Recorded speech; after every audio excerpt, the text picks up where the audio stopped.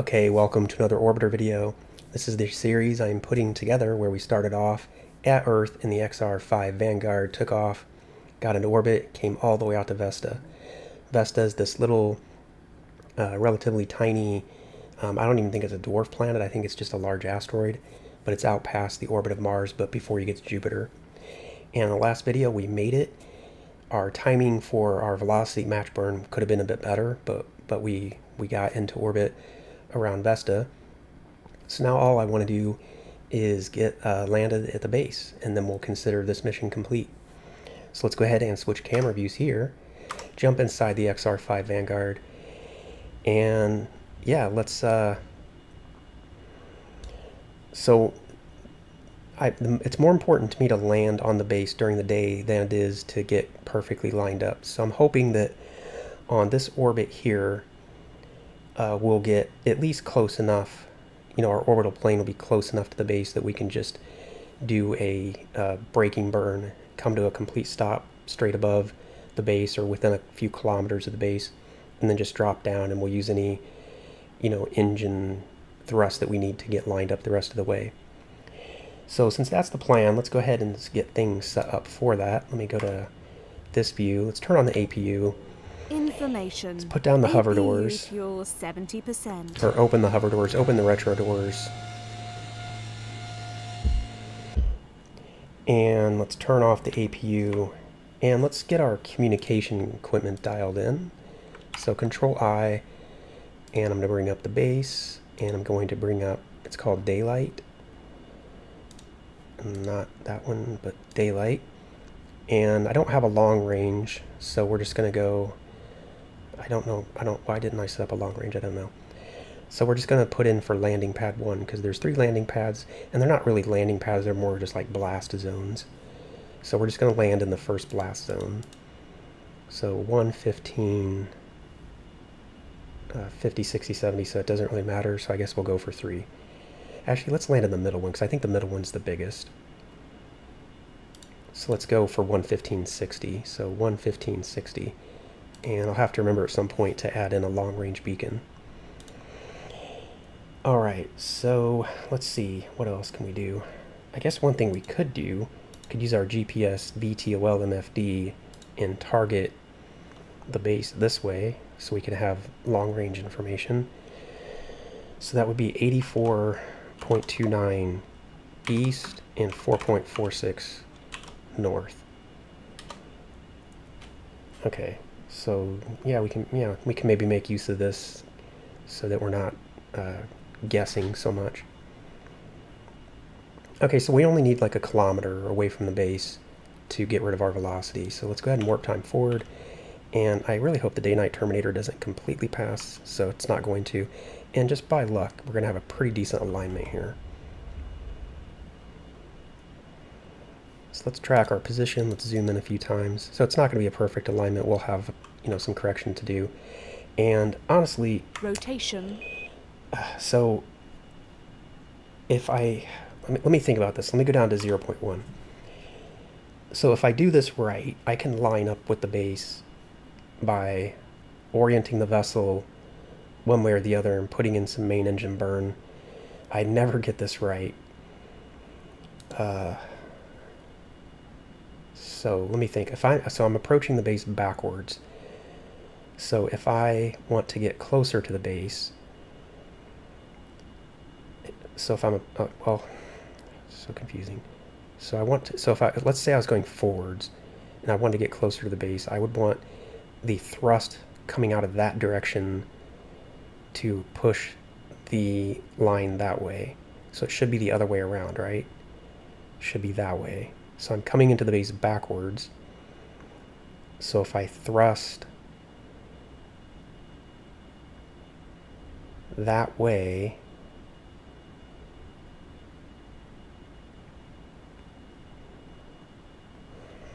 this is so confusing. I can never figure this out. Let me go to real time here. Let me go wings level. Maybe that'll help me think about what I'm trying to do here.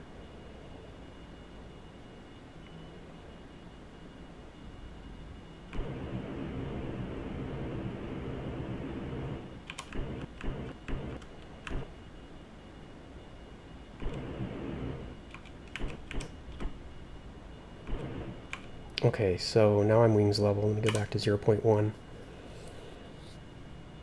So, let me look outside for a moment. So I'm going that way.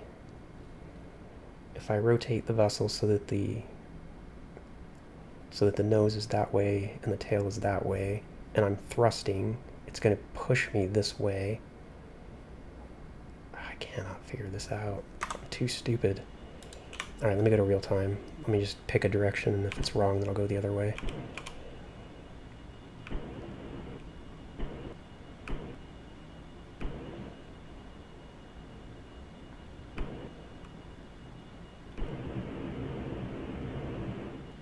Let's go to 45 that way.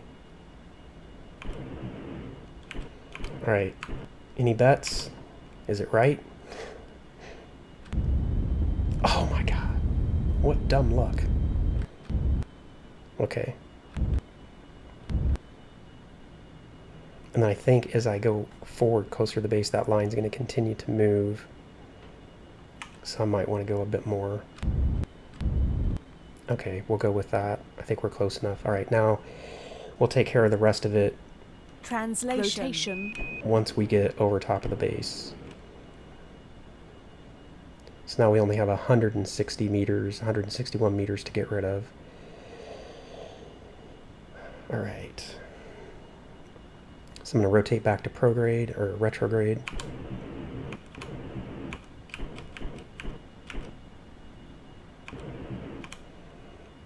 And let's get time warped a little bit. Just get a little bit closer to the to the base. Yeah, we should have kept burning just a little bit longer.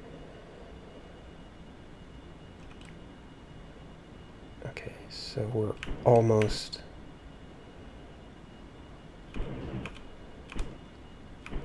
Just gonna go ahead and go back out that way again.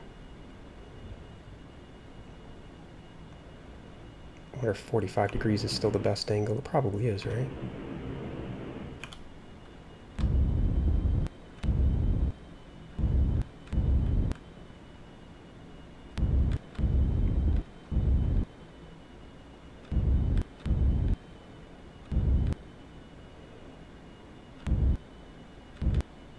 Okay, I don't want to go any more than that. so now should be moving, yeah, down, essentially. So now let's go completely retrograde and get rid of whatever velocity we have left.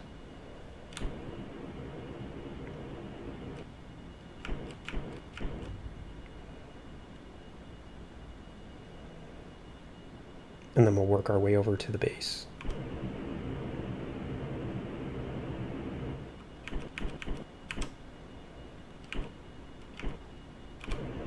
All right, so we have 117 meters. I'm going to say, yeah, let's go ahead and get rid of all of it.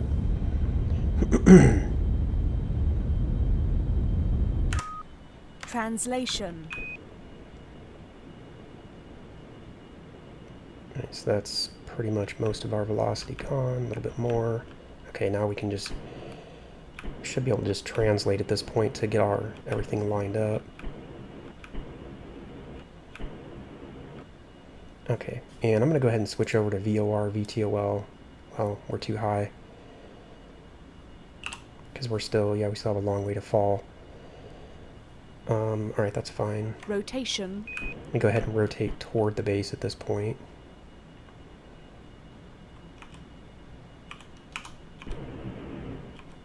Okay, so we're only a few kilometers out from the base, and we have a long way to fall. Might even be able to use one of those auto landers for this, I'm not sure.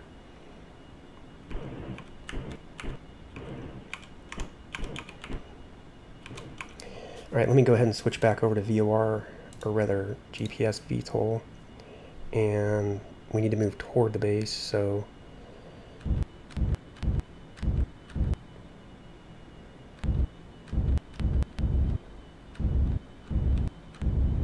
I didn't realize I was moving so fast in that direction. It doesn't make any sense to me. Hmm, wonder how that happened. Translation. Go ahead and translate to get lined up.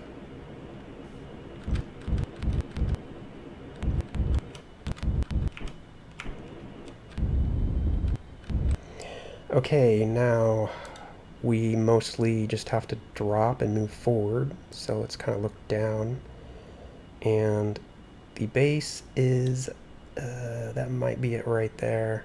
It's inside of a small crater. I, I was trying to, it might, hmm, it might be inside that crater. I can't remember. That actually, I think that might be it right there.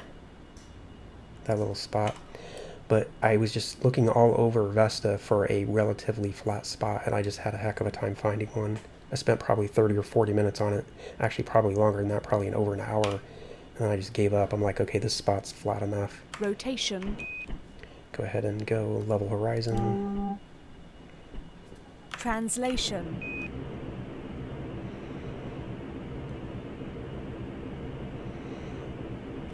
Alright, now we're just going to do a bit of time warp here. Oh, that's 100. I meant to do 10. Alright, we have... Rotation. Translation. So it looks like we're almost straight over top of the base. So I'm just going to put in some reverse.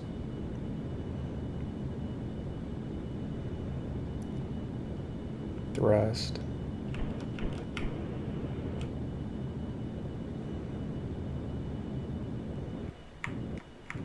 Okay, so now mostly all we have to do is fall.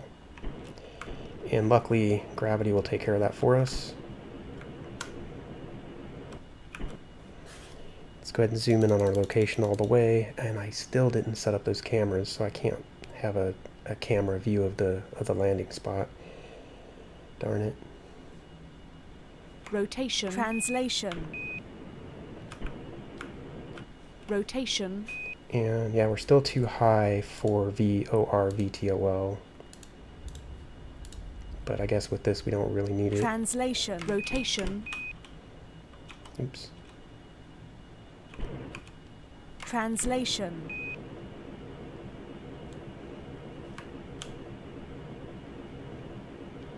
Just trying to make sure I'm staying pretty well lined up with the landing blast zone. Okay, let's go ahead and look down. Yeah, that little spot, that little speck, I think is our is our base. Okay, a bit more time warp.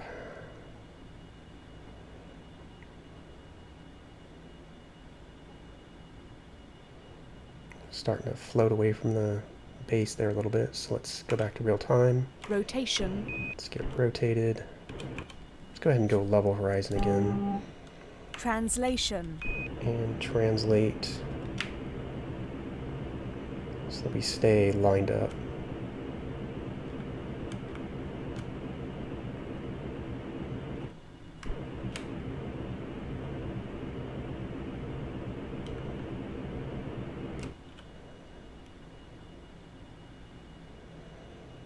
Okay, 70 kilometers in altitude.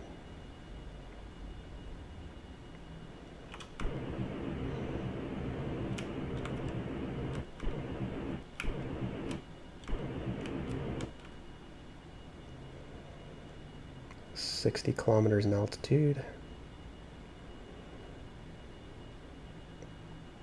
And you can see, you know, we're not really falling very fast. Just take a little bit to eliminate that velocity. Get back to real time.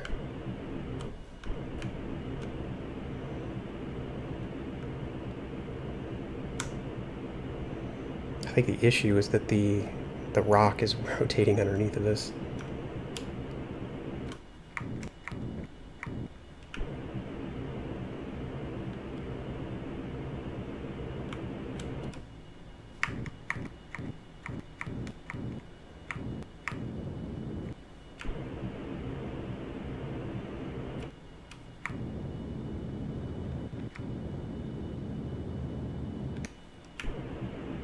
Rotation.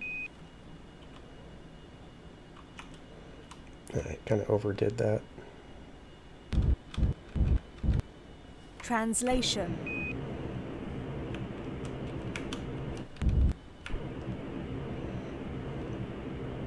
I'm trying to figure out how to compensate for the motion that's happening, but I'm managed to overdo it.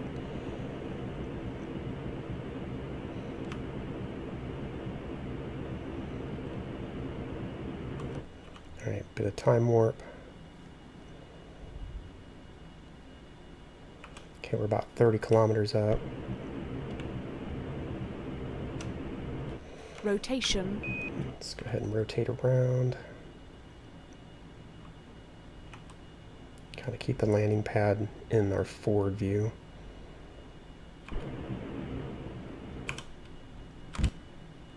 Translation.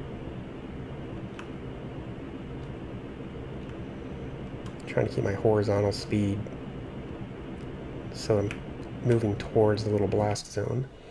Alright, so we're 20 kilometers up. You can see we're falling mostly straight down. Alright, it's about 5 kilometers up. Not too much more to go here, so we should be able to hopefully get down in this video. 5,000.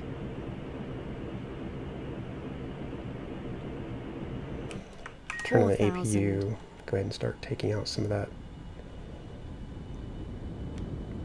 Gear 3,000.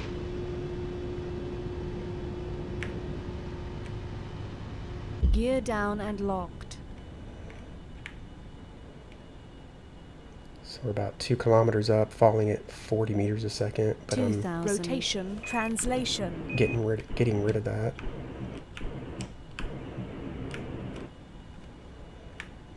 Let's go ahead and take out the hover.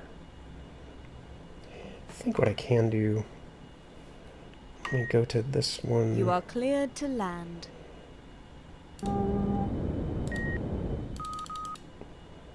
just have that, having myself controlling the the descent rate this way. Alright, so that way I can just focus on getting, you know, the line up. Rotation. Translation. And what are the keys for this again? Is it 2-8? Yeah. So that way I can come to this view. Rotation.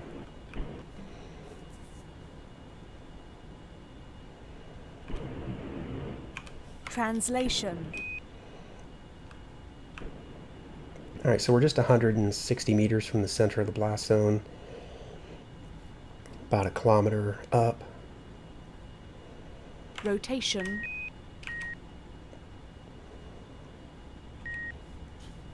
And we're just descending now at 5 meters a second. We'll go ahead and let ourselves descend a little bit faster than that. And Translation. just try to get lined up with the blast zone. We tilt our camera down, you can see our little our little base down there. Those are the three little blast zones that represent the landing area. 900.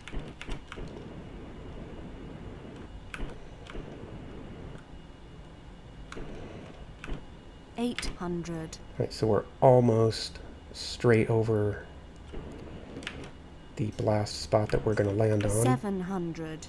Rotation. Start slowing things down a little bit. Translation. Six hundred.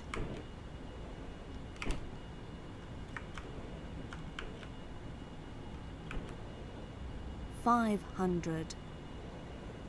Okay, so we're really well centered now. Four hundred. And our horizontal speed, you can see it's pretty much zero. Rotation. Three hundred. So we're 300 meters up. Maybe start slowing things down a little bit. Don't want to get a failure. Let me take out that trim just because it's bothering me, even though it's not doing anything. Translation. Rotation. 100. 100 meters up. Really wish I had those cameras set up. 75 up. Go ahead and slow things down. 40. 30. 30 meters up. We're really well centered over the pad. 20 meters up. Go ahead and slow things down even more. 15. 15 meters up. 10. 9. 8. 7. 6. Translation 5. 4. 3. 2. Almost down. 1. Wheels down. Wheels down now. It's just absorbing into the ground a little bit, those shocks. And turn on the parking brakes. Wheel stop. And that's wheel stop. All right, so let's make sure we... Okay, I guess that turned itself off. All of our autopilots are off. So let's uh, turn off the APU. So we made it with fuel to spare. We are at a base, so I'm going to say Using external O2. we can turn on external cooling. We have 300 external cooling online. 365 days of LOX remaining, so yeah, the one one additional module of LOX would have been good enough. And yeah, we're over 20 minutes on this video, but let's just uh, take a look here. So this is the Vesta base, and it's just down here inside of a crater. And again, the reason that I picked this spot was because it was fairly flat. But uh, if you look closely, you can see, if you know what you're looking for, you can immediately spot one problem, and that is right over here, the solar panels. We should be seeing blue solar panels right here. The reason we don't see them is because they're technically below the texture. So if I tilt the camera just a little bit and zoom in, like that, get a bit closer. There they are. You can see, now you can see the blueness of those panels, and it's because they are below the texture. And there's one other small problem right here. That corner of the base is technically floating off the ground because it's not sitting flat. You can see it right there. But again, I spent over an hour going around Vesta trying to find a place where the base would sit flat, and this was the one that uh, was the best before I finally gave up. But I would like to find a, a spot even better than that.